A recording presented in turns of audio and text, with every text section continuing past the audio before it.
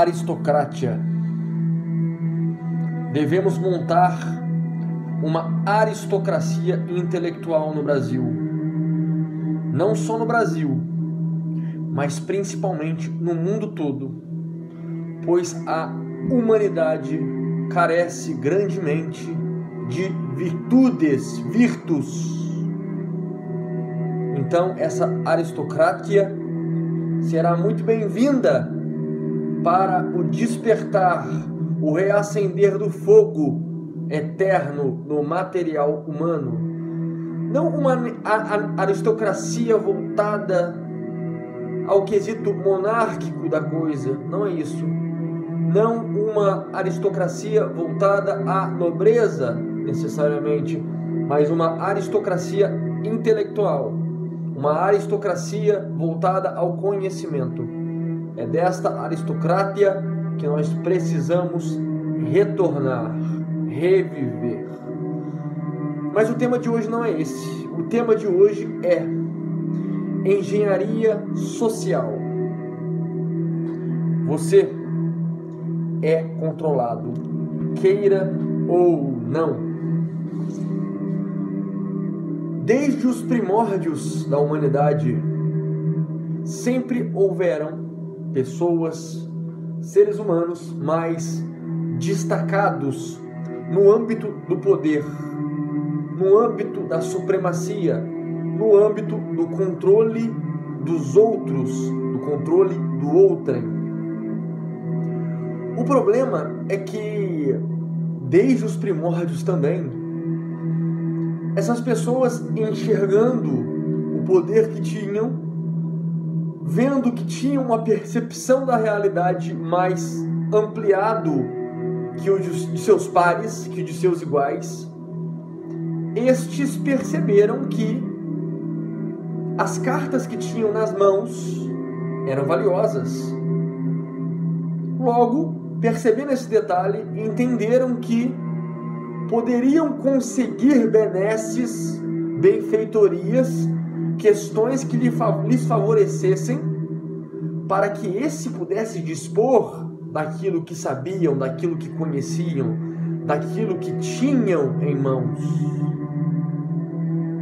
Foi daí tendo esse prisma, tendo essa noção, que começa a surgirem, começam a surgirem as máfias, os cartéis, as seitas, os grupos fechados, ocultos, para controle e escravização da humanidade. E isso é de outros carnavais, de outras primaveras, desde os primórdios da humanidade. Fazendo esse rápido paralelo, o que nós vemos hoje? O que até uma criatura menos avisada, uma criatura desavisada, pode, de certa forma, enxergar? Tudo que nos cerca, você que vive numa cidade rural, numa zona rural, numa zona agrícola, Talvez você não tenha tanta facilidade em enxergar o que eu quero aqui transpor, eu quero aqui sugerir. Mas você, cidadão de um grande centro, certamente possui a visão de como o ser humano é moldado, como o ser humano é controlado, como o ser humano é escravizado. Aparentemente, por uma vontade inteligente que rege os dias, dias, os dias após dias de suas vidas, de suas existências. Não só parece, como é. Essa escravidão ela é regida não só por homens perversos, homens satânicos, homens profanos, endinheirados, poderosos, politicamente poderosos. Não só isso Existe toda uma casta de principados e potestades por trás desses homens poderosos. Sim, entenda como você queira. Anjos caídos, demônios, energias nefastas. Podemos chamar isso também de antimatéria, algumas pessoas, né? fazem essa, esse maniqueísmo da matéria, matéria e antimatéria. Nomeie como for, mas por trás dessa gente perversa existe uma metafísica. Existem espíritos que influenciam estes homens a agirem da forma que agem. Porque o que esses homens querem? Esses homens querem poder, permanecer no poder principalmente. E qual é a melhor forma de pessoas como essas, monstros como esses, permanecerem no poder? Simples. Deixando a humanidade estúpida, ignorante, desconhecedora da realidade das coisas. Por isso citei no início aristocracia, uma aristocracia intelectual, uma aristocracia do conhecimento. Porque quando se tem conhecimento, se tem entendimento, se tem visão das entrelinhas da realidade, não existe escravidão. Não existe escravidão.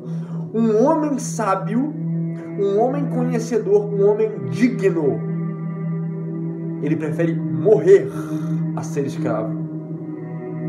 Eu prefiro morrer a viver de forma que muitas características nós vemos na vida de um blue pill, de uma pessoa que se encontra na Matrix.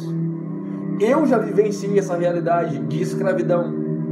Tirei as minhas experiências, jamais voltaria a trabalhar, a viver certas coisas, a, a, um tipo de relacionamento, um tipo de trabalho, um tipo de sociedade, de sociabilidade e coisas do tipo. Não. Eu prefiro a morte. Ah, guerra. Se tiver uma guerra mundial, você vai para. Eu não vou para guerra. Um exemplo. Ah, mas aí você vai ser condenado à morte como um desertor. Tudo bem. Dê um tiro na minha cabeça. Prefiro a morte. O que me dá isso é a minha espiritualidade, o meu conhecimento e a minha intelectualidade. Sim. Firmeza macheza, conhecimento, prestreza. Eu sou soberano nas minhas escolhas, na minha política existencial, na minha filosofia de vida. Morreria numa guerra, sim, no meu entendimento, o mundo buscasse de fato uma melhora, cultura, arte, beleza, poesia, literatura, filosofia Hoje o mundo não tem nada que me motive a morrer numa guerra por ele. Não, muito pelo contrário. Eu tenho nojo do mundo, né? Do que se tornou e principalmente nojo dessa humanidade moderna. Não só moderna, mas essa humanidade já há muito tempo sendo um câncer metastado neste planeta. Sim, tenho urticária só de falar, dá calafrio, dá Mas é sério. Tem que rir para não chorar. O que é uma engenharia social?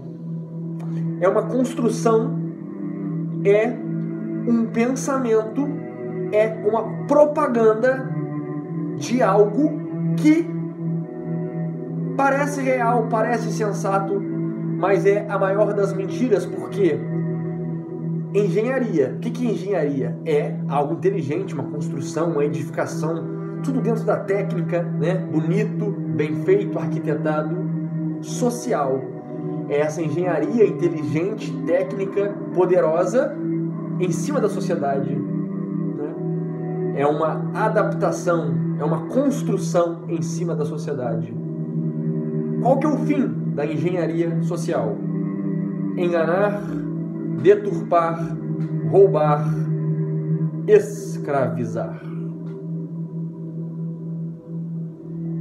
Tá assustado? Que pena. Isso sempre existiu. Muita gente fala das, distorpi, das distopias cyberpunks. Provavelmente vocês já ouviram falar sobre isso. Né?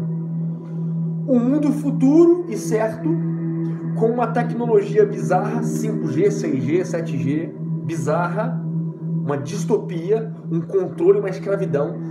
O que é esse universo cyberpunk? Um ambiente extremamente rico em tecnologia e extremamente miserável em qualidade de vida. Isso não é teoria da conspiração. Porra, será que você é tão gado? Você é tão burro? Tão limitado que você não consegue enxergar o seu derredor? Porra, nego vem falar de teoria da conspiração na minha frente, dá vontade de pegar um rodo e estalar na cabeça de um, de um camarada desse. Teoria é a vida patética e medíocre que você vive. Teoria da mentira, da superficialidade. Uma teoria isso daí.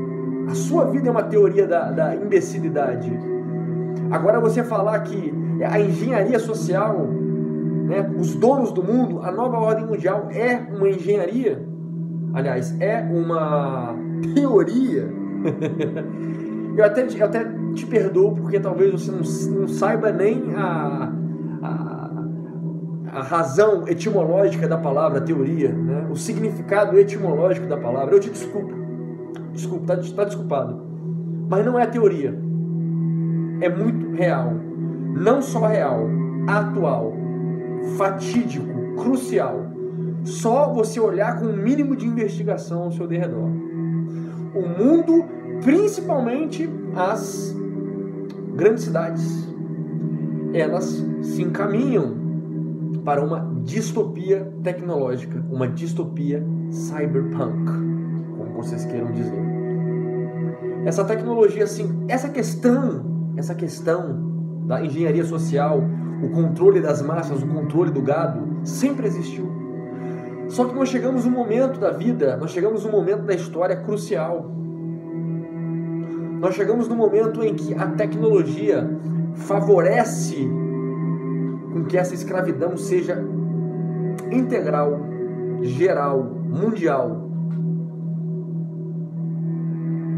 O maligno, o diabo, o anjo caído, Lúcifer, seja lá quem for, ele quer se igualar à onipresença, à onisciência, à onipotência do divino, do Criador. E essa tecnologia moderna permite ele saber de tudo, onisciência, estar em todo lugar, onipresença, mas não é onipotente. É uma das características do Altíssimo que o Anticristo, o rei desse século, o rei desta terra não possuirá, nunca possuirá. Mas sim, ele sabe de tudo e ele está em todo lugar devido a essa tecnologia, essa internet. E a 5G, ao meu entender, humilde entender, é o princípio das dores, dito em Apocalipse e nas profecias bíblicas. Meu entendimento? Talvez não ocorra, mas é como eu enxergo isso. Você é controlado, queira tu, queira não. Observe o que te cerca e verá essa engenharia social. Busque estudar os donos do mundo, as grandes famílias, os grandes banqueiros. Busque sobre os grandes investidores, os grandes investimentos, o que esses grandes investidores bilionários estão fomentando estão desenvolvendo no mundo, ONGs, grupos, né, movimentos, que vocês irão se assustar com o que vocês vão encontrar, com o que vocês vão se deparar. Recomendação de leitura para que vocês entendam minimamente, minimamente não, medianamente tudo o que eu disse aqui. Primeiro livro, 1984, de Orwell, George Orwell. Segunda indicação de leitura, Admirável Mundo Novo, Aldous Huxley. E por último, muito foda esse livro, muito, muito, muito, muito. O Segredo das Sociedades Secretas do Século XX, de Jan Van Helsing. Leiam esses livros, são livros grandes, são livros densos, são livros ricos em informação, em gravuras, em filosofia. Estude-os e você terá um conhecimento médio sobre tudo isso que eu acabei de dizer aqui. Curta ou compartilhe esse conhecimento importante. Deixe embaixo aqui o meu canal no Telegram, para todos aqueles que querem receber o meu conteúdo já de cara, assim que eu postar, pois o YouTube às vezes não entrega esse conteúdo assim que foi postado para vocês nas notificações. Deixo aqui também meu Instagram para Red Pills diárias complementares aqui do canal, arroba oficial. Tá aqui na descrição. Para você que gosta do meu canal, gosta do meu conteúdo, considerem adquirir umas de, de minhas obras aqui embaixo, obras literárias, obras muito bem escritas, obras de cunho espiritual e de desenvolvimento pessoal, para que você tenha de fato uma existência épica, com entendimento, com conhecimento, entendendo o panorama das coisas que te cercam. Liberte-se sem aforismos para uma existência épica, a sabedoria dos grandes sábios do passado, e minimalismo, um convite à plenitude. Toda a sabedoria que você precisa para enxugar a sua vida e reter apenas o que for bom. Bom, mas é isso, amigos. Excelente domingo a todos. And stay home.